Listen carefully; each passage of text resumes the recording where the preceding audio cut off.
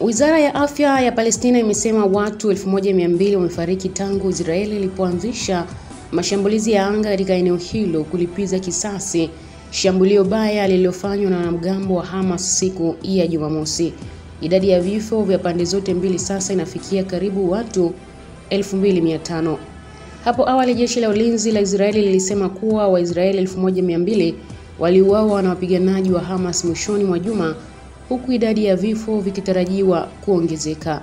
Wakati hayo yakijiri, rais wa Palestina Mahmoud Abbas atakutana na waziri wa mambo ya nje wa Marekani Antonio Blinken siku ya Ijumaa, kwa mujibu wa Hussein al-Sheikh, katibu mkuu wa kamati kuu ya harakati ya ukombozi wa Palestina. Bwana Blinken anatarajiwa kuwasili Israeli saa chache zijazo katika juhudi za kuonyesha kuunga mkono nchi hiyo na watu wake baada ya mashambulizi ya Hamas. Afisa huyo wa Palestina pia alisema katika chapisho lake kwenye mtandao wa X ambao zamani uliitwa Twitter kwamba Rais Abbas atakutana na Mfalme Abdallah wa Jordani mjini Amman siku ya Alhamisi. Jeshi la Israeli limesema mashambulio yake ya hivi karibuni ya anga katika ukanda wa Gaza yanalenga kuharibu mtandao wa vichuguu ambao kwa miongo kadhaa umetumika kama kituo cha operesheni cha Hamas. Njia hizo za chini kwa chini zilijengwa kwa miaka mingi tangu Hamas kuchukua mamlaka mjini Gaza mwaka 2007, zimetumika kama njia ya Hamas kuhamisha vifaa na pia kupanga na kuanzisha mashambulizi dhidi ya Israeli.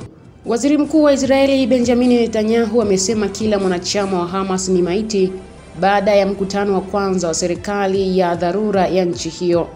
Akiwa pamoja na Netanyahu, kiongozi wa pinzani Benny Gantz alisema pia kwamba Israeli ipo katika wakati wa vita. Lakini rais wa Marekani Joe Biden alisema alikuwa amezungumza na bwana Netanyahu na kuweka wazi kwamba Israeli lazima ifanye kazi kwa kuzingatia sheria za vita. Idadi ya vifo nchini Israeli imefikia 1200 na zaidi ya watu 1100 wameuawa kwa mashambulizi ya anga Israeli huko Gaza.